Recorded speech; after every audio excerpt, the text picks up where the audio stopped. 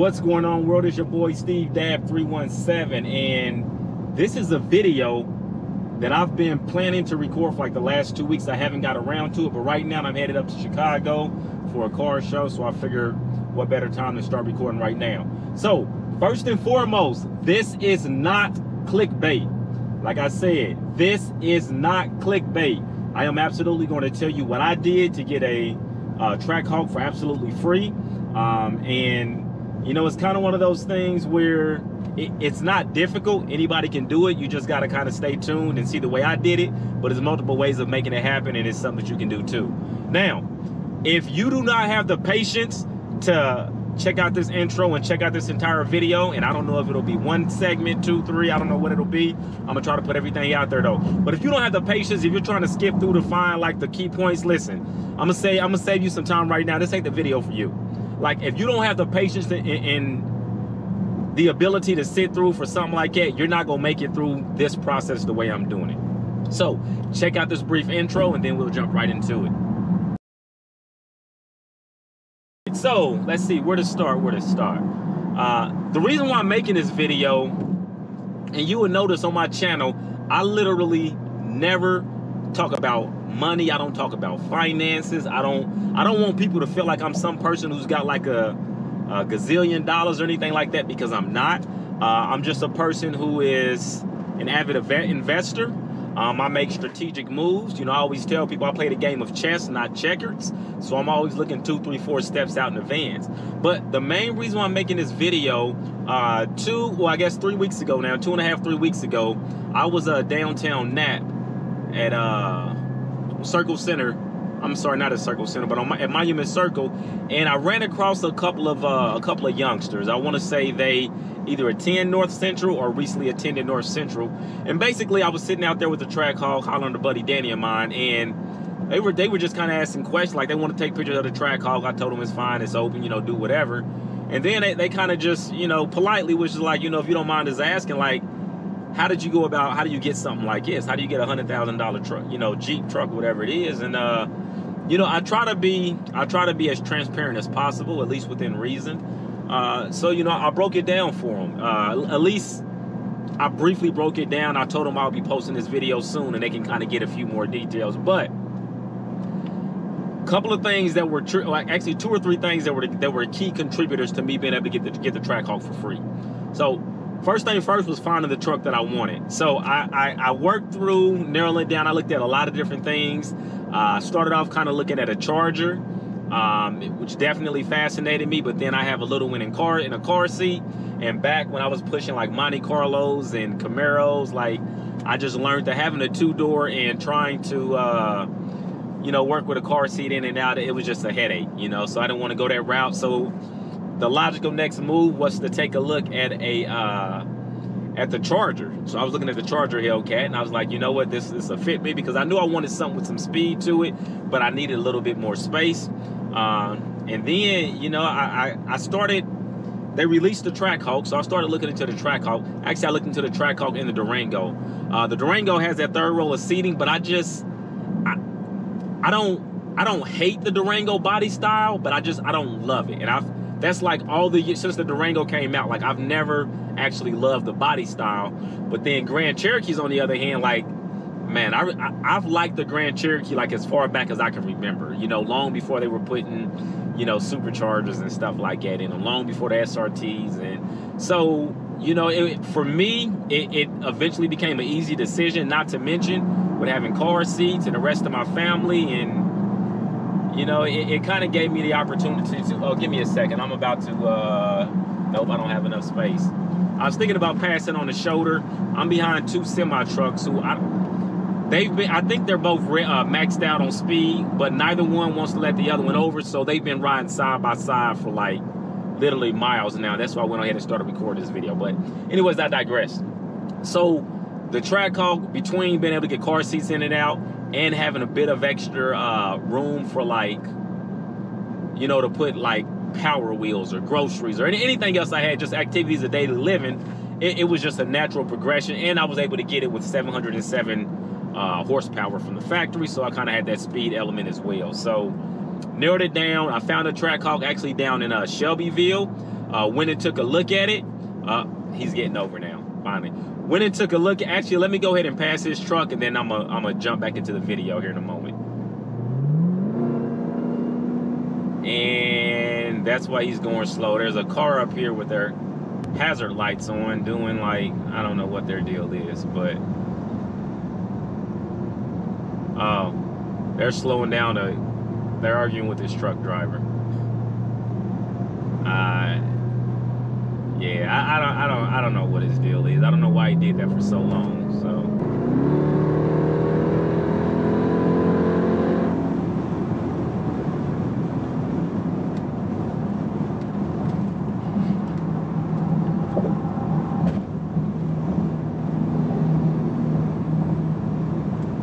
All right, I'm back. That was a lot better. Sorry about that. I had to, like I said, I was behind him for so long. Had to try to make up a little bit of ground so I could arrive on time. But yeah, so uh, I don't remember exactly where I was at. Get over in the slow lane. But basically, so I found one down in Shelbyville, went down there, took a look at it. It was the red line, uh, red line Pearl 2, red color or whatnot. So I liked it. Um, done a test drive, which is, that's another odd thing too. So I went in, the guy actually let me test drive the Trackhawk, which from my understanding, what I've heard from other people, uh, most places don't allow you to test drive anything with a with a with a Hellcat engine in it. But you know what I mean. So, dude was real cool. I was like, hey, you know what? I'll give you a thousand bucks to hold it, and then give me three uh, business days, and I'll make a uh, a brokerage exchange to, you know, go ahead and come up and purchase the vehicle. So, what I ended up doing was So what I ended up doing was uh, getting into my stockbroker account um, and selling some shares of a stock I picked up. Now, and this kind of goes into the, the, the details about how I got the Trackhawk for free. So in I, I want to say September. If it wasn't September, it was October. One of the two of 2017. Roku, you know Roku, the little streaming streaming sticks, they made their IPO, and I want to say they IPO'd around that's for anyone who doesn't know, that's the initial uh, public offering, right? So basically, you can now buy into the company. You can purchase shares of stock of Roku.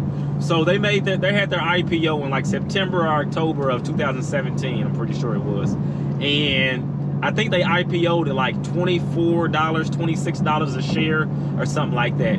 Shortly after IPO, it took a bit of a dip, but I had already, even before their IPO, I had looked into Roku and I felt like it was a really solid company.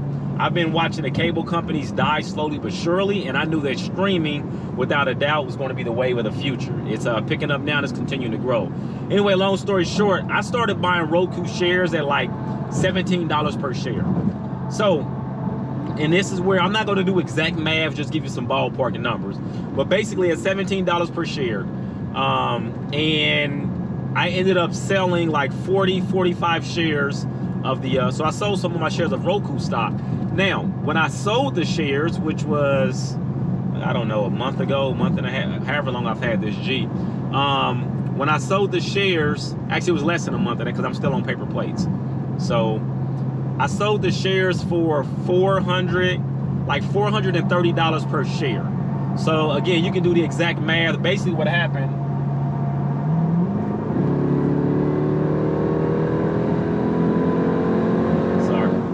They were asking me to rev it. They was pulling up next to me. I, you know, got to keep the fans happy too, right? And I actually could have got. I've got a. I've got a. I've got a good credit score now. It took me some years to build, but I've, I've taken care of my credit score. So I actually could have walked away with the Trackhawk with zero dollars down, zero dollars out of pocket. But my payments would have been like I don't know, like fifteen, sixteen hundred dollars, maybe seventeen. I don't remember the exact number, but like for me, psychologically, I try to keep as many bills as I can underneath the $1,000 mark. So like $999.99 in my mind is significantly cheaper than $1,000. So basically I went in, I'm like, hey, I need to get the payments underneath $1,000. So, you know, I was like, what do I need to put down? And I think, I think I put down like 20, I don't know, like 20, 22k 21 21 20, something around something in that ballpark whatever it was to get it down below uh, a thousand dollar payment so the payments came in at like nine i don't know nine and some change 990 something like that now Still not free yet, but you see how basically that entire down payment was money that I got from the Roku stocks, not a dollar out of my pocket. So the other part of it, the other 60, 70,000, whatever it broke down to, uh, and, and, and really quick, I know some people are going to say, well, Trackhawks, they've been out for a few years now. They're not $100,000 Jeeps. Well, I've got 10K in my rims, and then I got music and, and some other customized stuff. So that's how I came up with the 100K number. So basically, the other 60, 70K, whatever it breaks down to, I ended up uh, two, three years ago, two, two and a half years ago, I want to say, I found a house for sale that was it was tore up from the flow up. Needed a lot of rehab work. There was like a non-for-profit that was uh there was a non-for-profit that owned the house and was like a like a home caretaker type thing or something. So, anyways, it was ran down. A lot of wheelchair scrapes and stuff on the walls. I had to go through, pretty much gutted, and then I rehabbed the property. I purchased that house for like 115, and I guess with my closing costs and everything else, I ended up buying a pickup truck because I needed a pickup truck to work on it. So all in, we'll say like 120. Um, for for the rehab, I put 30k into the rehab. Um, I found some amazing deals, and that just came through me always talking to people. Like literally, everywhere I go, I talk to people. And that's probably the first tip I give you, especially if you're getting involved in real estate. Like, get out there and talk to people.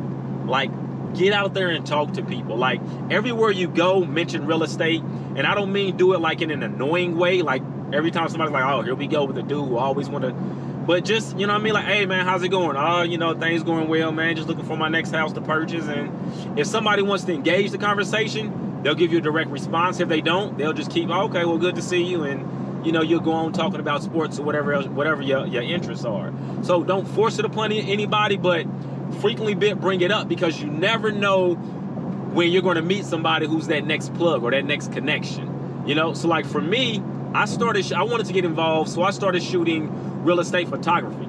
And through real estate photography, I've been able to meet people who are realtors or brokers as well as investors. You know, I've been able to uh, uh, accumulate a couple of properties via that channel, um, and I'm still constantly meeting people because I'm still meet, uh, constantly meeting with people and uh, taking photos for them. So I'm meeting people that contribute to my my master plan, if I may. You know, so I've made some amazing connections, and I'll continue to do so. But namely because I'm not afraid to open my mouth. I'm always willing to step out and talk and speak about what it is I've got going on. So, uh, road noise ahead, nice. Uh, let me get out the fast lane. I got somebody coming up on me. So, so basically, I purchased for 115. We'll say 120 and then I put 30 into the rehab. They put me in at 150. I did a cash out refi, and the appraisal came in at, she's like 190, 189, 190, something like that. So what ended up happening is I left like 40, 40, 45,000 dollars of equity in the house. I pulled out my 30, actually I pulled out like 35 or 37,000, I think, uh, of cash. So I did a cash out refi. So all the money I had put into the house, I pulled it out. Uh, and then when I refinanced, I got rid of PMI because I only put like 3% down on the house when I first got it. So I pulled out, I refinanced. My mortgage went from, and again, I'm estimating, but it went from like 850 down to like 750. Now the rents in the area are right around 13 or 1400. And again, I'm fully rehabbed, so it may even be a little bit more than that. So, you know, I was like, this will be a good buy. Um, we'll just kind of live here for the time being well, while living there, there was another house like it. I was walking the neighborhood, found another house that came about being for sale, and the house was uh, I, I I don't remember what it's listed for. Anyways, it was listed, and then all of a sudden it was pending, like almost immediately. You know, this is when the market started to pick up, and I'm like neither here nor there. I hit up my realtor. I'm like, hey, I am curious to look at it because I try to look at all the houses in the area. So I went and looked at it, seeing it was ran down the people who had it pending, something, and this is when COVID is jumping off. Something happened with their uh, finances where they couldn't secure financing, so the house popped back on the market. Now, in the meantime, keep in mind, my wife and I had already popped over, looked at it, so I had an idea of what the rehab would cost me.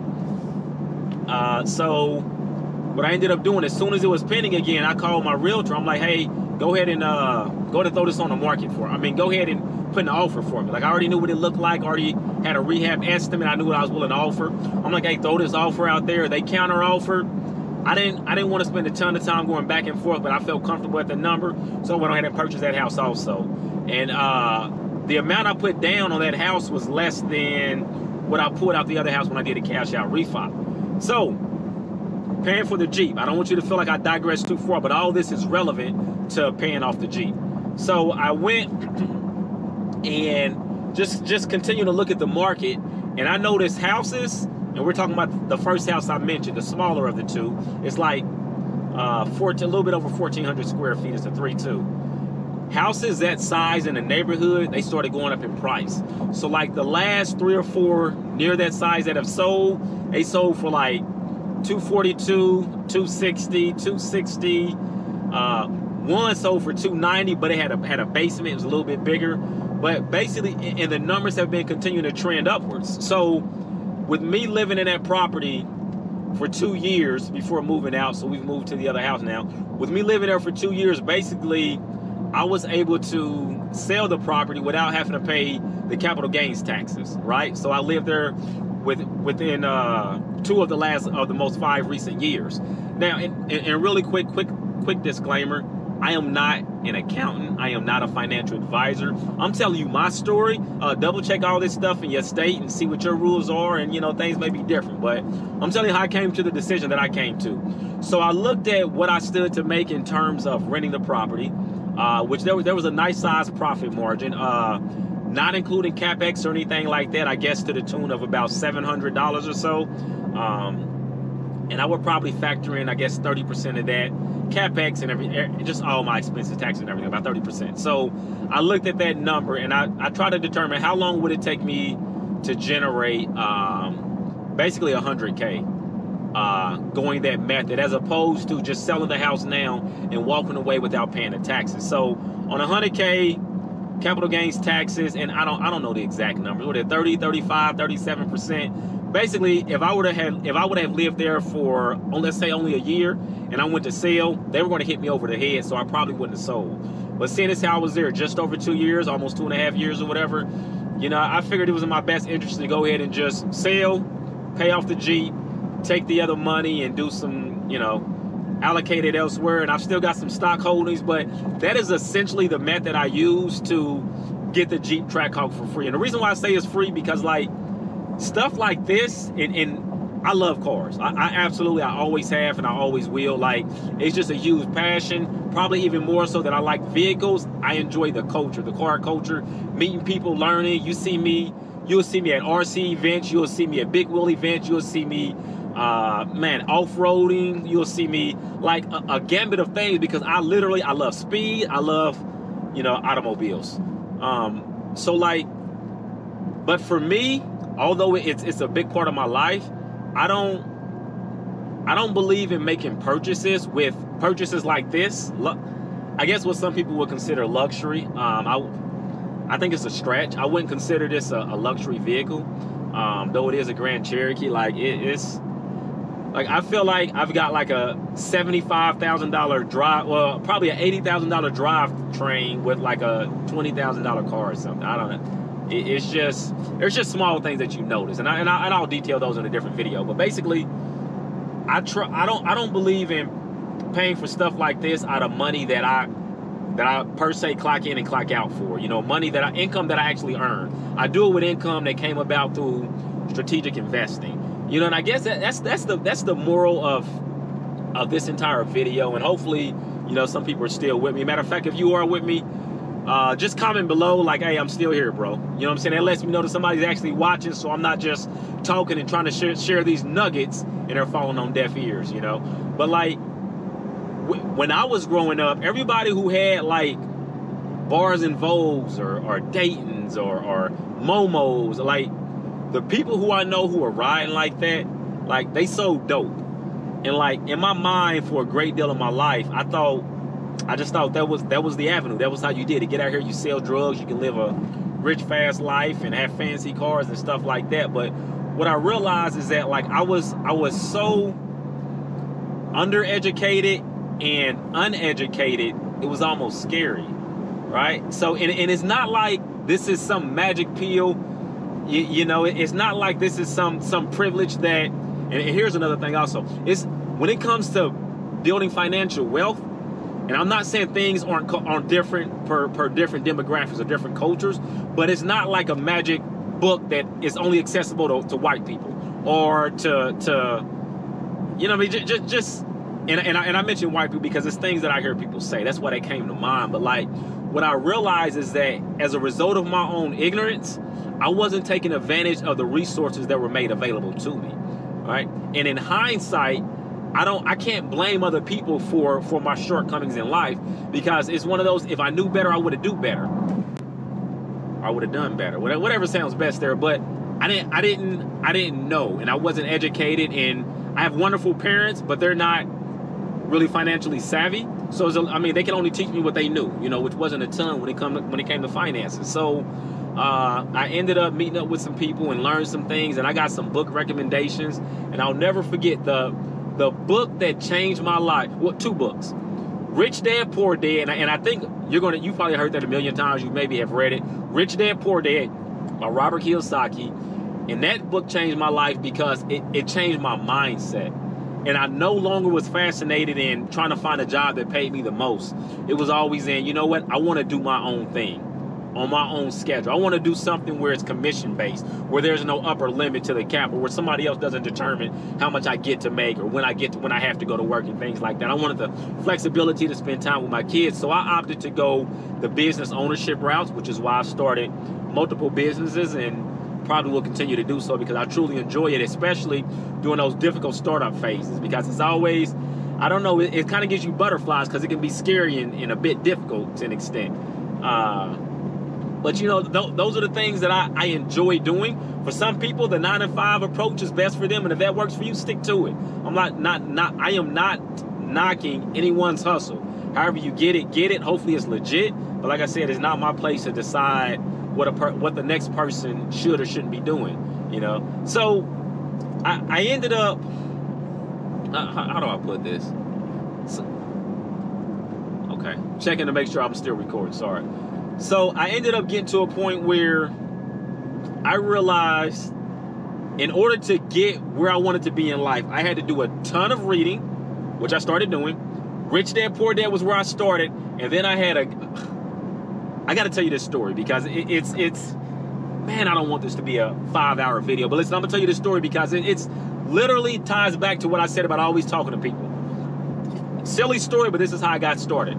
There was a guy, and, and I don't I don't want to reveal his name on the on here because he's very very low key, and I don't know how he would feel about it. And I haven't hit him up and asked for permission or anything. We still talk all the time though, but I went to it couple year, few years, three, four years ago, I don't know something. Whenever avocado avocado prices started going up ridiculous, I was going in the store. They were like a dollar twenty-five, dollar fifty for one avocado. Now me, I love avocados. Like literally, I can eat avocados with every meal all day long. That's just like my go-to. Avocado toast for breakfast, and I just I love avocados.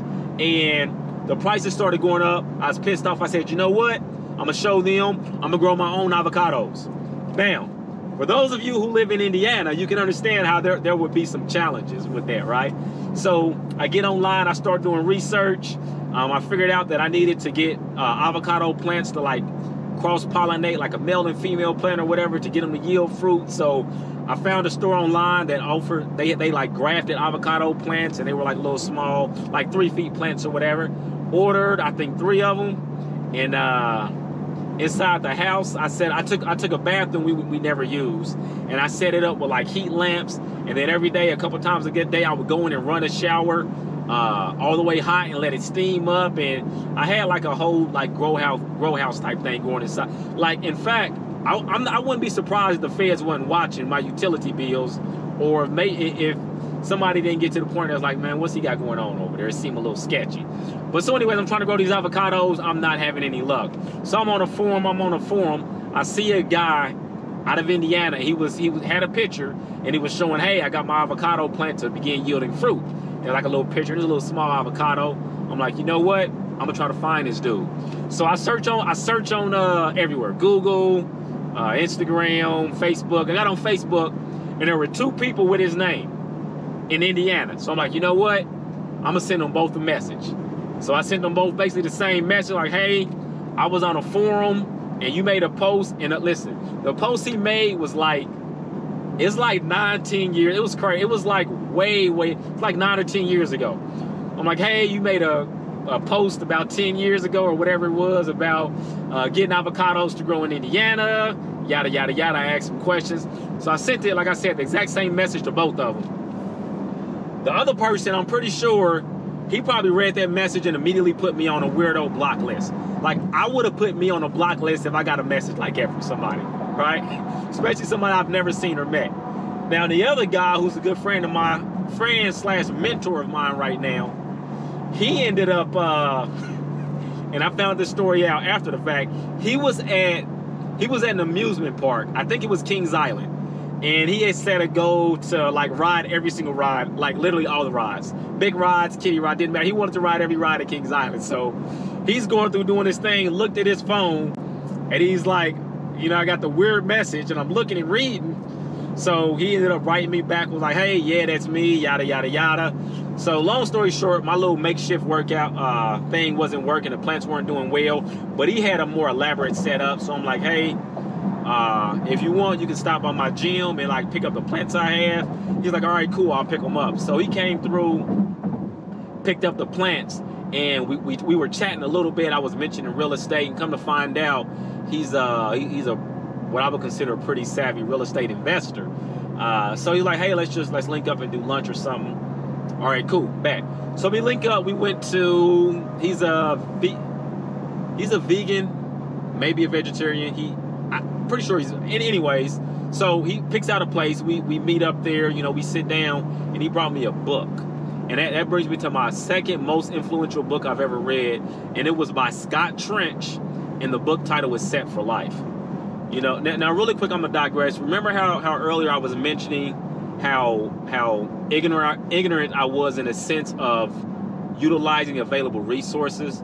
Like most of the questions you have right now in life like they are in a book somewhere where somebody's already experienced what you've experienced and they took the time to write about it. And they don't just do that for the for the you know for their health. And most authors don't make a ton off selling books. They do it out of most of them from my from, from my understanding most of them do it from a love or for a passion or from a desire to give back you know so they can continue helping others when they're long and gone. You know so like the book and scott trench is still here don't get me wrong uh, he's still alive and well. I listen to his podcast with uh, what is it, Mindy Jensen, like on a regular basis.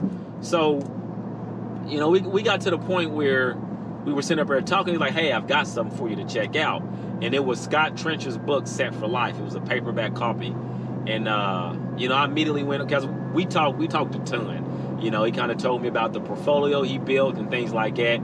So I, I went home and I immediately got to reading it. I want to say I read that book in like two and a half days.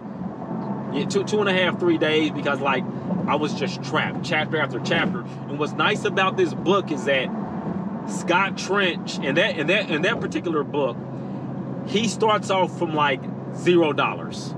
You know what I mean? And then like the first, you know, the first section is like building from like zero to ten thousand, and then maybe the next section is like from 10,000 to your first 100,000 and then uh, I think the third session section is like uh, building a financial runway, you know, or, or, something broken down like that. But basically, it wasn't one of those books where like you already got to have, you know, two hundred fifty thousand dollars going in, and this is how you start a major.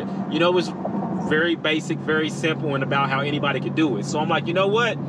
I've got nothing to lose, so I started implementing a lot of that stuff, and like it, it's it's in, in all honesty, it's almost unbelievable how fast you can accumulate things when you start living a very frugal lifestyle. You know, so we and, and we already did decent, but you know, I read the book and talking with you know my mentor and I just really got fascinated with figuring out how to live off 50% or less of my income. So what I started doing you know, my wife and I, we made a detailed budget and we started shaving things. You know, we shaved a lot.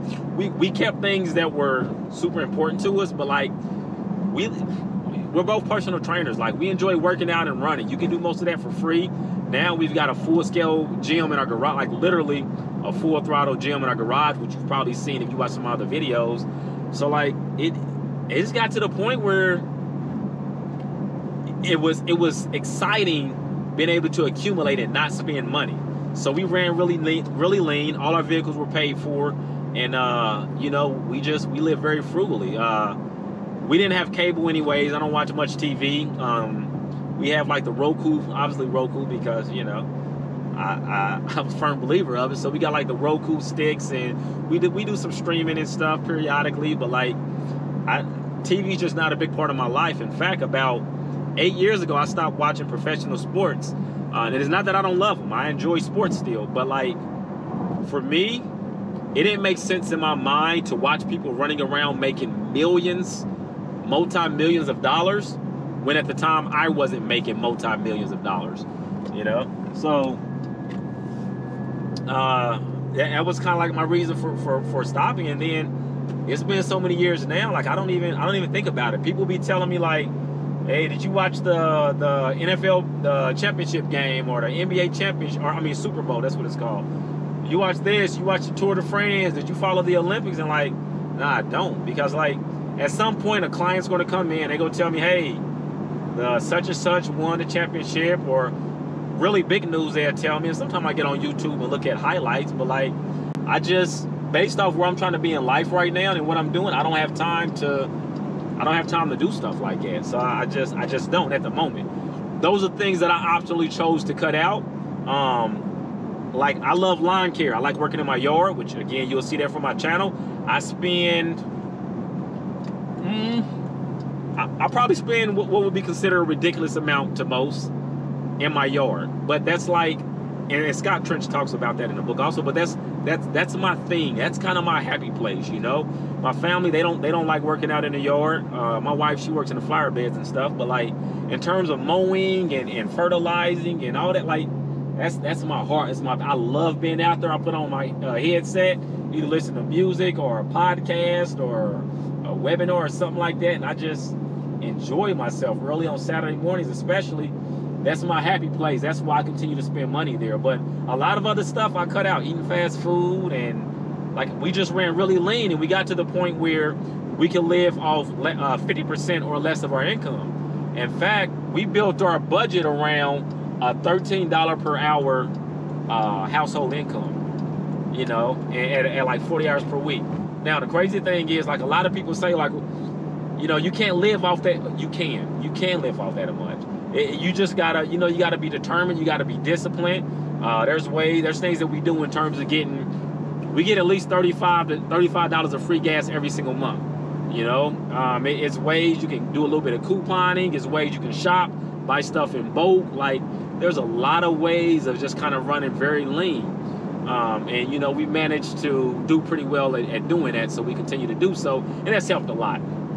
So. Uh, I, I, I, don't know. I guess if there's anything more specific you want me to share, and then also my question for you is like, with videos like this, do you do you want to see more videos talking about the financial side of things? Um, as a general rule of thumb, like I said earlier, I I tend to stray away from them because I don't want people to feel like, like, how do I put like one, I'm gonna start off with this. Not knocking anybody's channel. Some people, you know, they talk the money stuff and the big, t- and that, and that's cool because that's them or that's their personality. Me, like I, I enjoy having some nice stuff, man. But I, am really kind of, I like being low key.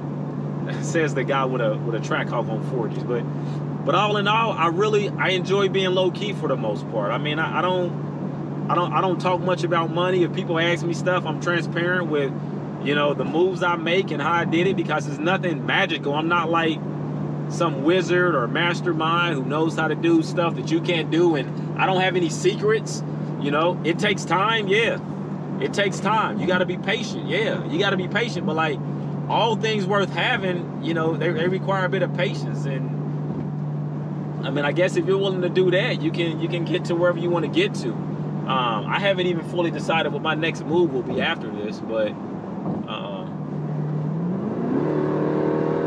get around this truck real fast. I haven't even fully decided what my next move will be after this, but it's like I don't know, man. I, I just I just want to keep moving forward, doing the things I enjoy doing. I love having time to spend with my family, uh, and, and, I love being able to share information that's going to help somebody else. You know, if you look at the the description on my channel, it tells you like yes, I do this for all, everyone, everyone who's watching and things like that, which is great. But in addition to all of that, I, I do it because like I'm going to be gone one day, and I want to have something here for like my grandchildren and great grandchildren. Hopefully, this channel doesn't get taken down, but something where they can kind of look and watch and, and, and see you know what I mean? What I was like, get an idea of my personality, see what my hobbies and passions were, and I think I think that's really cool. That's probably my most favorite part, one of my most favorite parts about YouTube. But if there's a way where I can share information that is going to motivate or positively uh, inspire or encourage somebody else to to be successful, whatever success looks like to them, then I'm all for it. You know, I guess in closing, my, my thought of the day, and this is something that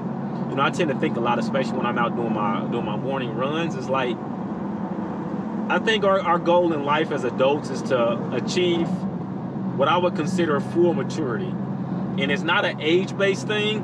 I think that full maturity is achieved when your foresight is as insightful as your hindsight. So think about think about that for a minute in closing. When your foresight becomes as insightful as your hindsight. Right? So when you can look at a situation and be like, you know what?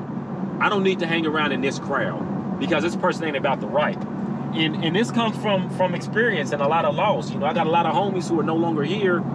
Some some some of them just being in the wrong place at the wrong time or being around the wrong people. Guilt by association, like all that stuff is real. So you got to be mindful about who you're around, who you hanging out with, the places you go. You might be a perfectly ideal citizen, you know. But you know, if you're hanging out at three, four o'clock in the morning, just miscellaneously, like it's a matter of time before something funky pops off.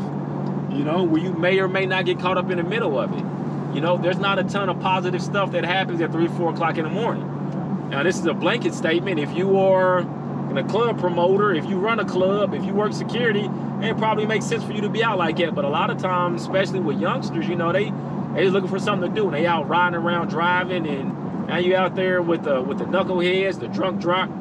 I say knuckleheads. Bro, I, am officially getting old because I just said knuckleheads like in a in a full fledged sentence, and I think it's official. I think I'm getting old now. I'm approaching 40, so you know it is what it is.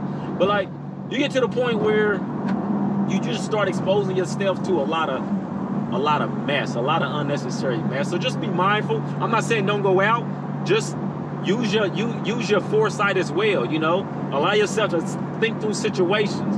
If I do go over here and start racing, what are the consequences if I get caught? Can I deal with those consequences? Am I ready to do six months? Am I ready to pay a five thousand dollar fine? Am I ready to, you know, whatever it looks like? Make sure you're in a position where you can deal with those consequences and things. Uh, like I said, I think I've said a decent amount for this video. If you got any specific questions or anything, do me a, feel free to reach out to me. I am I'm fully transparent. I don't mind sharing a little bit I know. I don't know it all. I can give you some recommendations to channels that can tell you a ton more information about building financial wealth.